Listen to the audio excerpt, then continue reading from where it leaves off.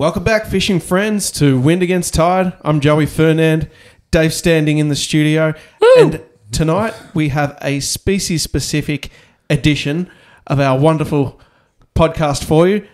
We are going to talk about squid, and we have in the studio Peter Ferguson, Fishing with Fergie. Thanks for joining us. Thanks for having me, guys. Squid, hey? Yeah, I heard, I heard you caught one once. I caught one, I think once. Yeah. How? How did you do it? Oh, I fluked it, Dave. No, squid. Well, love them. Love them, mate. Love them. Do you think squid could be the most chased species in the world? Not our universe? I reckon you're probably not far off it, Dave. Because squidding or the techniques we now use all originate from Japan. So there's obviously quite a few squid there. Nearly every state in Australia seems to have squid. They're accessible to everyone because you can catch them land based. So I guess that explains why there's such interest in them. Why do you love squid, Peter? Well, I'll tell you something first, Dave. This mm-hmm. is a little stat that I was given by somebody a while ago, and I, look, I've got to take it as gospel because the source was quite good. That one of the large squid jig manufacturing companies, Japanese, right, really big brand. You know where their top three markets go in the world? It goes in this order. I was told it goes Japan, Korea, Melbourne. Melbourne, Wow. yeah. Right, so Japan, Korea, Melbourne, not Australia, not Victoria, Melbourne. Yeah. Third biggest market in the world for one of the largest Japanese manufacturers of squid jigs. That's unbelievable. that is really cool. So we're, we're up there, guys. We're, we're playing the World Cup stuff, you know what I mean? We're, we're kicking goals. yeah. I World mean, leaders in squid fishing. We are. We're The- world, no, we're world leaders in buying squid jigs, Joe. That's true. it's done on volume, mate. You walk into a tackle shop, go into Complete Angler in That's Dandy and true. see It's- George. It's all the colours of the rainbow. 100%, mate. I think the tackle store owners must have bloody loved when the whole squid jigging thing really took off because I've seen, I've been in there and I've seen guys that probably barely fish, but they've got to have every color, every size of each squid jig like it's a collector's item. And I bet those tackle store owners were just rubbing their hands with glee when that whole thing kicked off. I, I know a guy a few years ago I used to hang out with. He had like 350 squid jigs. And I'm like, what? You know, 350. I'm lucky to own about 10. I, I probably own 10. On one of our previous podcasts, we had the famous little maker Peter Pakula, and I think you asked him a question about what's the best colour to catch a fish on, and he and he gave some kind of glib remark like, "Well, they all work." It's the action, it's the sink rate. But you know what? You've got to support these tackle shops. Get in there, go and see Georgie in there, Dandy, mate. You need to own 15 different squid jigs. You've got to buy them. Yep. but there's the like just with squid jigs, you know, I I can think of oh, heat cloth, um, UV attracting. Um, like what what would be some of your favourite um, squid jigs, Fergie, that you're using at the minute? Predominantly, as I fish at Western Port, predominantly for my squid. Okay. It comes down to colour choice. When people say what colours you got, I use red, red, red. Yeah, then you- I use purple. Green's very good. Um, white, I know white. Everyone had this big thing about the old was it 14T in the Shimano's years ago. Yeah, yeah, there's like a clear white one. I, was- I never did any good on white jigs. I when I go squidding, if I'm squidding like I was a couple of days ago solo, I had three rods rigged, two sleepers. One was a green jig, one was a purple jig, and I was casting a red. what- what's a what's a sleeper rod for people that might not not uh, get that Uh, a static a static rod sitting in the rod holder, drifting along where say if I'm in three meters of water, I've got enough line out to keep that in that bottom meter of the water so it's not snagging up. Yeah. Some days you catch nothing on those lazy jigs. Other days they dominate. So so would you just have that on a, um, a like a vertical weight and then like it comes off on a dropper loop or how No, would you do? I literally, like Joe, that? unless the drift is fast, as long as the drift is under a knot, I've got just that jig cast at the back, just wafting around behind the boat. Oh right, just as as straight out of the packet. yeah, exactly. Yeah. I'm trying to keep my drift ideally at about 0.7, 0.8 of a knot. So around that 1k an hour. Mm-hmm. If the drift is fast and I can't slow it down and I'm desperate for them, I'll put a little, just a little pea sinker like you would in Port Phillip, Yep. about 300 mil in front of the jig. Okay. A paternoster also works too, but that's just what I do with a sleeper rod. Yeah, nice. So it's just the action of the boat basically working that rod in the rod holder, and, and that one often is the one that gets the bite, over the ones that are getting worked furiously. Yeah, and that tells me, Dave, when the day that I'm getting the sleepers are catching, you know, more squid than my casting, I slow down the action on my casting rod. Right. Some days the squid are just in that little, they're a bit timid, and they might follow that sleeper jig. They might follow it for five minutes, and you don't know. He's followed it and finally grabs it. But other days, sometimes the sleepers just get absolutely smashed and they hail off. But if I'm casting and it's a tough day and the sleepers are catching more squid, I will slow down the action on my casting rod and I'll start to catch more squid Yep. on the casting rod. And it's funny, sometimes it's the opposite. They're, they're not switched on, and you'll find if you speed up your retrieve and make it more aggressive, you'll actually get them going. I remember one occasion where nothing would work but a fast burn straight across the top, then stop, let it sink. And every time they'd come flying in and attack it. But if you worked it normally, no bites at all. Now, Joey's actually funny. We've just been talking about squid colours, and there's a little clip playing in the background. King Kong, Donkey Kong. Yeah, out with Suraj the other day, he showed me his two squid jigs. He said, I use black and I use white. I said, okay. He said, that's it. Black and white. Is he a that okay? Collingwood supporter? What's that? Is he a Collingwood supporter? No, he's not. But just one, generally, he finds one of those two colors does the job for him. And uh, I I think that, you know, it's a confidence thing. He's got confidence in those two colors. And more than often than not, you know, he's using a dark contrast and a light contrast. One of those is probably going to be effective. So, you know, going back to that, you don't need to have 50,000 jigs. Just a few quality colors is probably mm. all you What really I, need. sorry, Joe, cut you off. What I think Dave just hit on a really valid point of squid then. You said confidence, right? Because he's got those two jigs, he's got confidence. It's the same with me with red. If I'm using a new colour and I haven't had a bite in or a squid on it in eight or 10 casts, I'm changing the colour.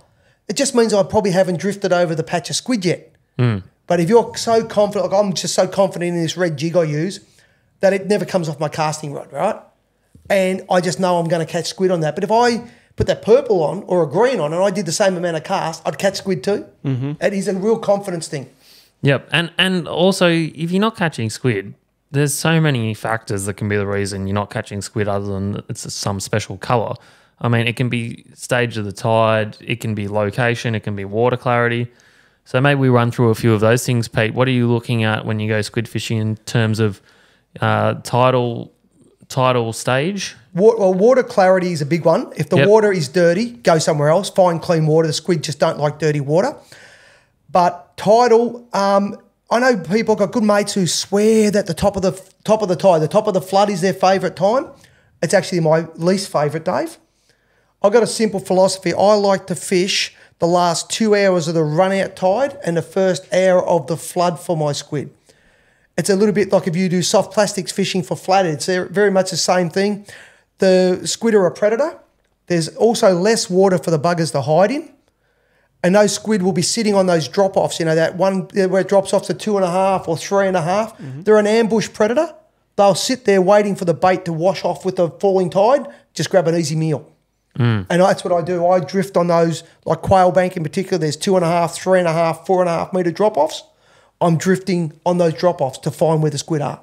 Yeah, yeah, I, I, I agree. I mean, obviously, any bit of structure or something that's going to aid the squid in hunting is going to be advantageous for them, and that's where you need to be concentrating. I mean, even if we're looking at this video, we've got playing right here. There's a hard weed edge where it goes sand to weed. Yep.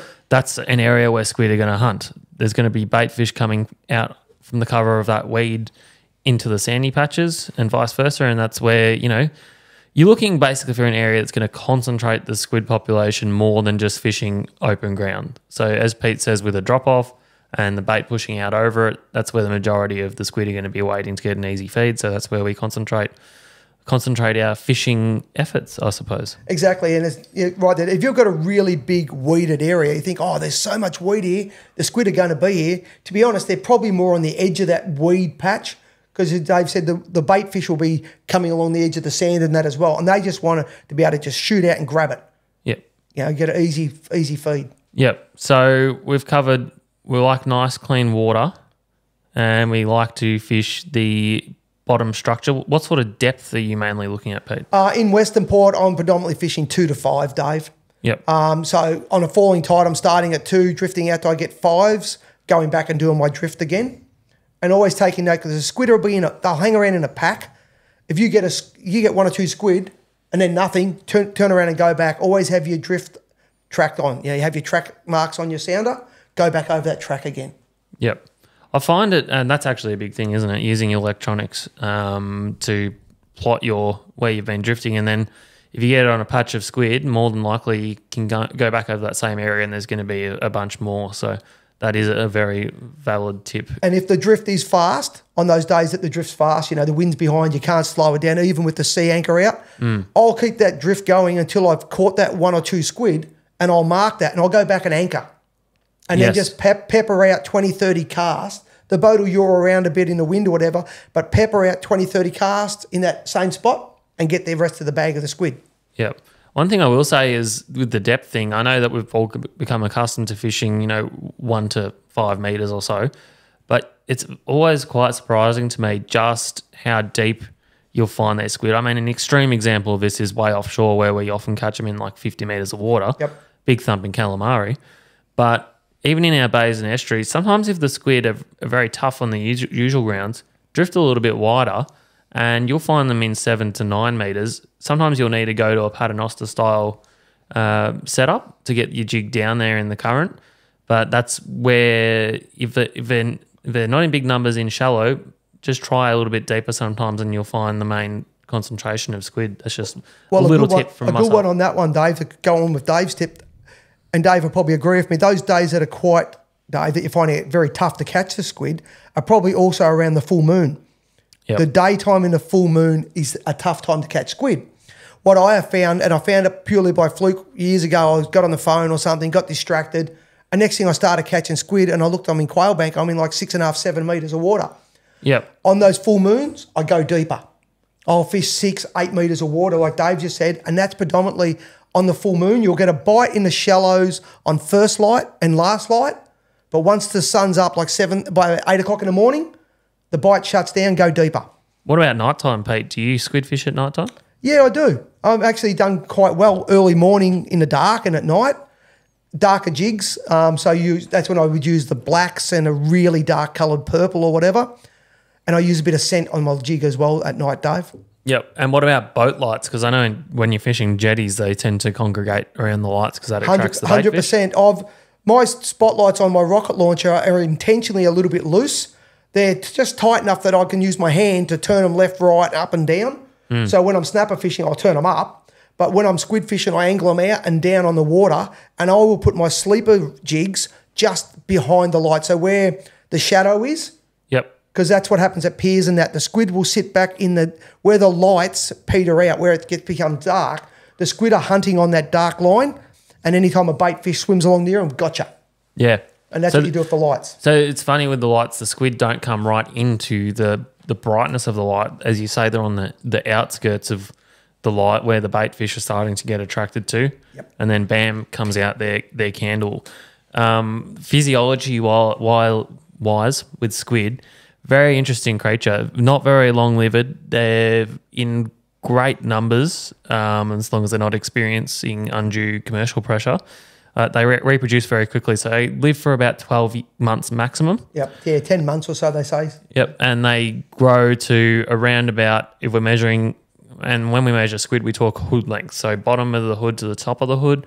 So a, a really big squid is fifty centimeters. So fifty centimeters for a squid is like the equivalent of catching a twenty pound snapper, or probably even more impressive, you might say. I've never caught a 50, pe- 50 centimetre squid neither of you i don't think have you done No, I haven't. No. i've got 48 and a halves and stuff 48 49s i cannot crack a 50 centimetre yet remember dave when you and i did a talk years ago up at Drouin Yeah. and the guy showed us the pictures of those three and a half kilo calamari they caught Yep. But they, they're rare. We've never seen one. No, they they got on a nice little patch there, and that was um towards the eastern entrance there of Western Port. So, I mean, that's another thing to touch on, I guess, is when you when you're searching for that clear water. If there's no clear water up in your usual areas at the top of these estuaries or bays, then quite often, would you say fishing the mouths of these estuaries is a, a good way to f- hunt that clear water? It can be. It's it's a little bit funny, particularly if Western Port, Dave. Like I was went offshore chasing tuna the other day for donuts, obviously. But I went out there and we thought we'll put a couple of squid rods in. We'll try for some squid at Cleeland Ah. Bight and away back in. The squid drift of shame. And mate, hundred percent because it was rough as guts for a few days, and we thought you know the tuna will bite after the first day after the rough. And what happened? The water down at Cleeland Bight was like milk coffee. It was putrid.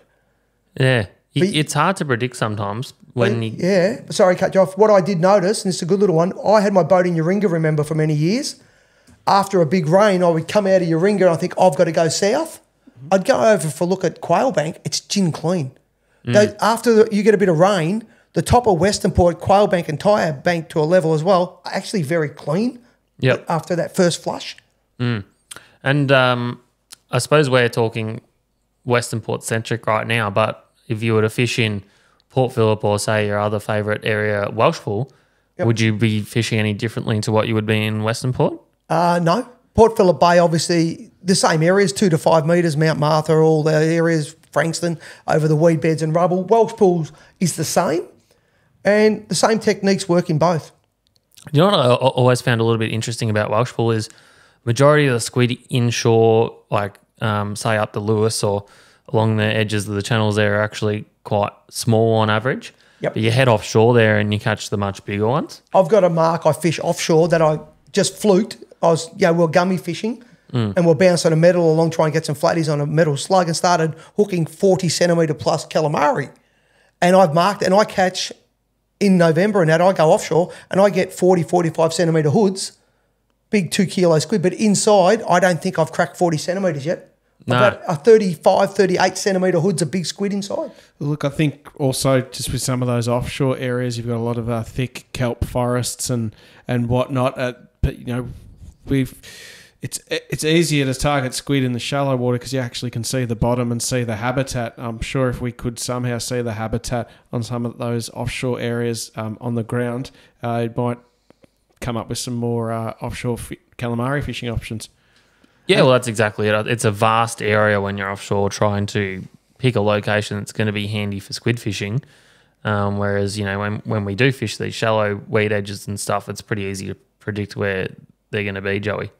I'm going to show you a, re- a reoccurring reminder in my phone, Dave. What does it say? Paternoster squid jigs offshore drifting. That is a reoccurring event in my calendar that I've had it in there and I haven't done it. It's been in there for about four months. That when I'm offshore in 40 metres of water at Welshpool chasing gummies and flatties to put down a paternoster squid jig because I know there's going to be some bloody big squid out there as I, well. I love that. I actually that, that's that's what I do. Yeah. Um, down down off uh, Flinders there, some of my favourite gummy fishing down there. Yeah, that's a fantastic tip. Yep. And you know what else you'll catch in these offshore reefy broken ground areas on squid jigs is bloody massive cuttlefish. Yes. Have you encountered any of those? No, not offshore yet, but uh, octopus, Dave. Yeah, octopus. You'll get Octopus take- as well. Jigs? Sorry? Do octopus take jigs? They 100% will eat a jig.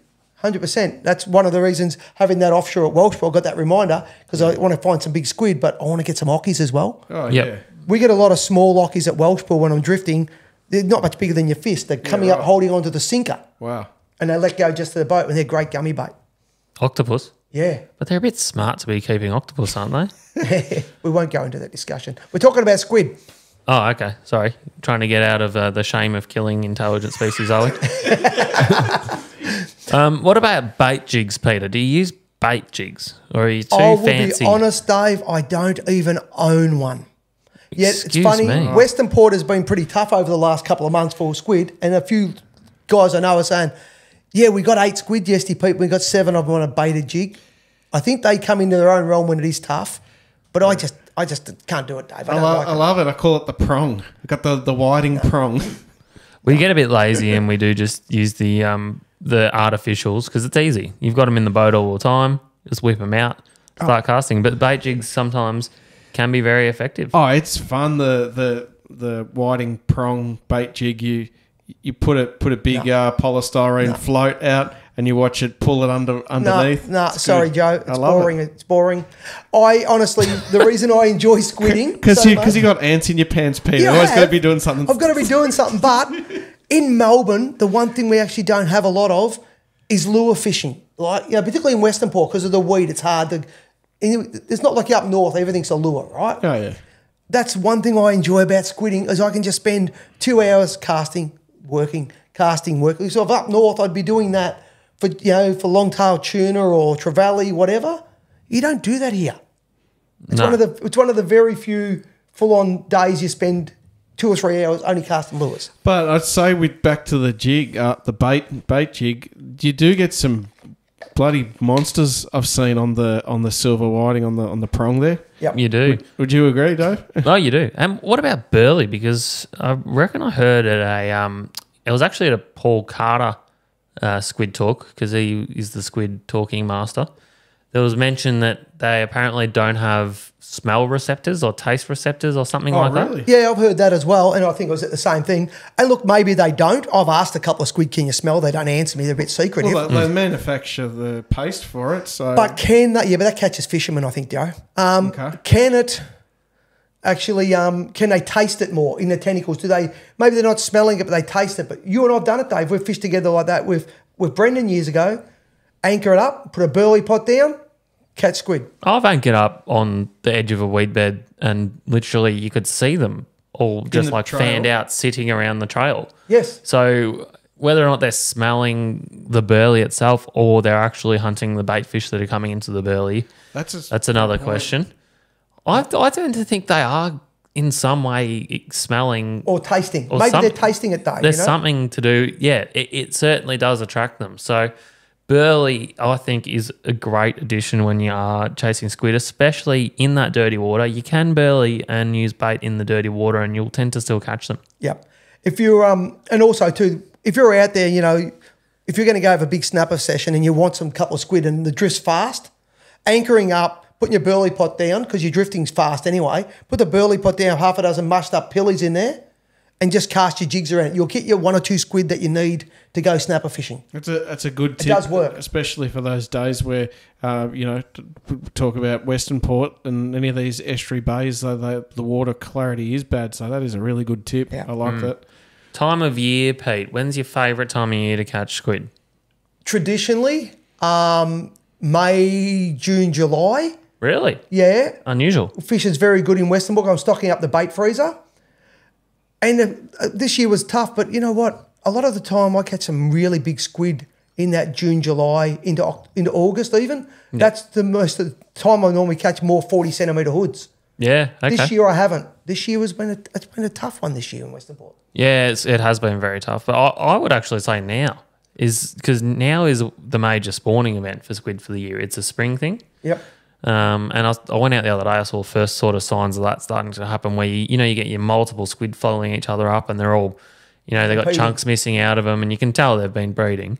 So, um, but yeah, I, I would say now. But you are right that that May, uh, March, May sort of time, you do tend to get a lot of big ones, and also you tend to get a lot of big ones further up in the estuary for some reason. I have caught more big squid in the top of Western Port than I've ever caught going to Flinders. Yeah, right. Flinders is the home of big squid, everyone says, right? So it is. I don't think I've ever caught a 45 centimetre plus squid at Flinders, but I've caught hundreds of them on quail, tyabb, middle spit, etc. You know, Yeah. I've, I've caught some big ones at Flinders. Uh, It's uh, like ten to twelve meters, and uh, there's a lot of uh, Vietnamese fishermen in uh, in tinnies that uh, seem to get in and amongst it. And uh, when it's on, you can Yeah, have but a ball down there. I reckon I have lost more squid jigs at Flinders than I've ever lost anywhere else in Western Port. Can I say one of the things that when I've had people on my boat that don't fish a lot, one of the main things to teach them when they're squid fishing is how to unsnag a squid jig because Yes. people don't understand uh, that there is a method to get, I would say, 90% of your squid jigs back. Number one, I would say fish a fairly heavy leader. I'd use 20 pound. Um, I really don't think going any lighter than that is much advantage. And 20 pound will allow you to get most of your jigs back. But when you do get to like Flinders, especially these areas with the thicker kelp, um, which by the way, I find you get a lot of these big squid on that nice thick kelp. Uh, when you do get your jig stuck there, it can be very hard to get it off. But a technique I like to use is a whipping technique. Yep. So it's almost like you are working your jig. But what works with that is you're whipping it, but on the drop down, as you drop your rod tip, the jig gets time, the sinker falls and when you whip back up, the sinker in the jig comes back up. It so you're in- you're it wiggling it. it, yeah. You're wiggling it loose. If you just do a straight pull, it's the weed is going to be strong enough to a lot of the time break your line because you're not using that whipping motion to dislodge the barbs. I did that with a mate the other day. He got snagged up with one of my jigs, of course, and he was about. I'm looking down, going, "You're going to break that? Can I just grab that rod for a sec?" Mm. And he goes, "Why?" And I've just gone whip, whip, whip, and it's just come out. Mm. And he's like, "Oh, I was just going to keep pulling." I said, "Yeah," and I only used 12 pound fluorocarbon. It was just going to pop it. Yep. I, I it happened the other day when I was out with Suraj. It happens all the time. People look at you like going, "Yeah, right, you have a turn." It's like two seconds, bang, bang, squid jigs off, carry on fishing, and it's all about getting that slack in the line and then whipping it back up. Well, you want to try and get your squid lures back, especially when they're what, what are they now twenty five bucks a pop for a premium squid jig. And it's always your favourite colour that's snagged. Joey, I buy so few of them that I honestly couldn't even tell you what the going price is at the What- moment. But What I've also found, Dave, too, when you're on that heavy kelp, if it really snagged up, like if I'm off cows and it gets snagged up, I will just put the boat in, start the motor up hmm. and drive back around it. Just open the bail arm and drive around so I'm back on the opposite side, the way Yep. you've hooked it up. And eight out of 10 times you'll get it back out that way as well. yeah, or, or a straight pull. If you get straight on top of Top it, of you'll it. be able to pull it straight up and get it off a lot of the time. Now, here's a question directed solely at you, Joseph, and I suppose we can contribute as well. Do you eat squid or do you use it for bait? That is the million dollar question. Oh, I, I love eating them, and but you know, you guys were just mentioning this year. I, I haven't I haven't done too much squid fishing uh, this year, but no, I absolutely love eating them, and not too many actually go into the frying pan when I go fishing with any of you blokes. I know. And it's actually a rare occasion where we do fry them up, but by God, are they del- delicious, Joe? It is too valuable a bait. Yeah, but it tastes better than the things that you're catching. I know. I would have agreed with you a few years ago, but now I'm just kind of into eating things. But you think that if you wanted a calamari to go sword fishing and you want a big one, it's thirty four ninety five a kilo. Oh, it's 50, and a big squid's one and a half kilos, mate. It's a fifty dollar bait. I know that, but you know what? You don't have to use cal- you don't have to use calamari for swordfish. I'll use uh, I'll use fish or, or arrow squid and eat the calamari. Yeah. But Each no, everything does eat squid in the ocean. Hence why I suppose they're fast growing. Um, they live a fast and loose life, and they are pretty much put on this earth to be to eat and to be eat to be eaten. Hundred percent. Sounds like me. Yep. They are. Um, the comment years ago was they, they say they are the largest biomass in the ocean. Yeah, I'd believe that. Yep. Yeah. They say ninety percent of the earth is covered in squid. Pretty much. Is that where squid or water, came from? one of those two things. Um, yeah, so yeah, quite an intricate look into the the life at, of squid and how to catch them. I think we've covered some really interesting stuff there, actually, guys. Pete's got something else. I had one more thing, and it's an interesting one. And go back to remember Adam Reuter, Yep. great fisherman. And I remember going to one of his talks. I love going to people's talks and picking up a note. And he said there one night, everyone was talking about 1.8 and 2.5 squid jigs, right? Little squid jigs. And Adam put it the best way I've ever seen it. He goes, You put a bait jig out, as Joey was talking about. What do you put on it? You put a big silver whiting, or I got mates that put 30 centimetre grass whiting on it. Hmm. And you want to throw a little 1.8 or a 2.5? Come on. You're putting a bait out that's eight inches long. Oh yeah. Give me a size five or a size six squid jig in a decent brand. I'd throw it. Yep. You know, big squid. I catch little squid, little baby squid still on a 3.5. Yep. I only buy 3.5s because I'm fishing tidal estuaries. You want Yep. that extra little bit of weight to let the jig sink in that t- current? It helps. Yep, and um, that was another point that I did think of earlier. So I'm glad you brought that one up, Pete. But yeah, I think if you think about it, squid are trying to get the most meal that they possibly can for the less, least energy. Yep. So they're going to prefer to hit something that's a substantial uh, size and going to give them more nutrients rather than try and chase around multiple smaller things. And that, that's the same thing for a lot of fish species, actually, in my opinion. So sometimes it's worth going bigger. Maybe. Joe knows something, a little bit something about going going bigger. What are we talking No, about? that's it. no, that's interesting because you see uh, some of the um, you know the Port Phillip squid fishermen uh, you know, especially around like Mornington and Frankston, using these tiny little uh, jigs back in the day. But I guess there's absolutely no tide at all in Port Phillip. And there's lots of little small squid around those piers too. Yeah, that's the thing there. They, they are Is that an exception to the rule? they are majority tiny squid. Yeah. I, I think one of the things, once again, I picked up at one of those information nights was if you think about it, why do we get bigger squid in Western Port and Southern Port Phillip than you get, say, in the northern parts of West uh, Port Phillip Bay, particularly? The squid's only got a lifespan, they say, of say ten months, eleven months, whatever it is, right? Mm. When they're if they're in a current area, they're exerting more energy to to live, right? Mm. Just to, to swim against the current and everything takes more energy. So if you're going to exert more energy, you're going to take more energy in, aren't you? Mm. So those fish, those squid in Western Port and Southern Port Phillip Bay feed more aggressively and will eat bigger, will chase a bigger meal mm-hmm. because they're using more energy, aren't they? Yep. So therefore, in their limited 10 month lifespan, they do grow bigger. And that's one of the, and I think it made good sense. I don't know of too many big squid that get caught in the top of Port Phillip Bay consistently. No. And the other thing is potentially there's a lot more bigger predators in the current filled southern end of the bay rather than the north. Yeah. So maybe the big they need to grow big.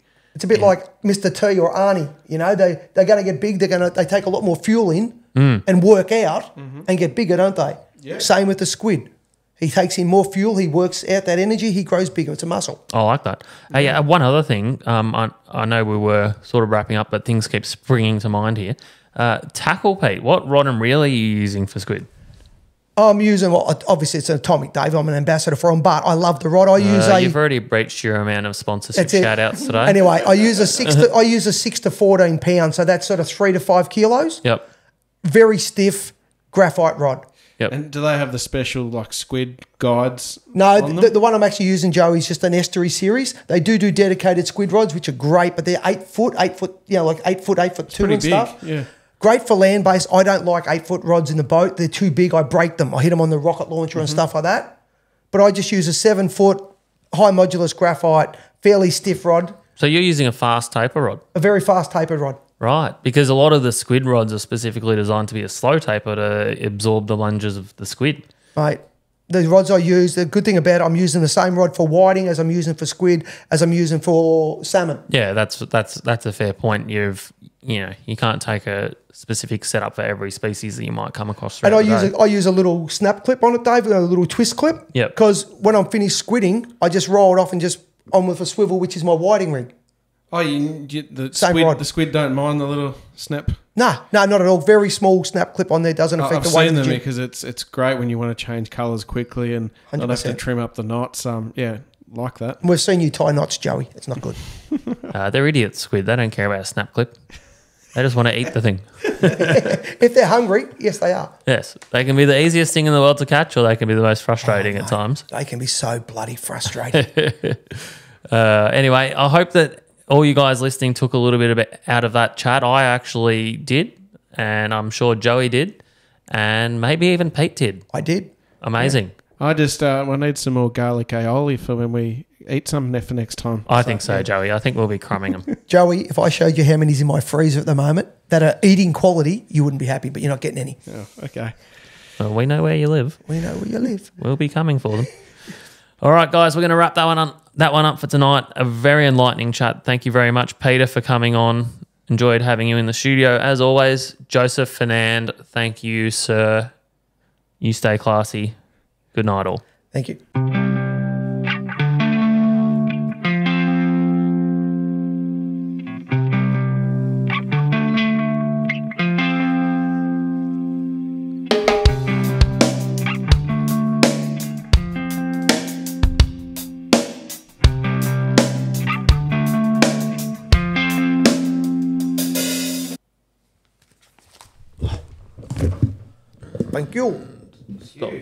Thanks, Pete. Squid's always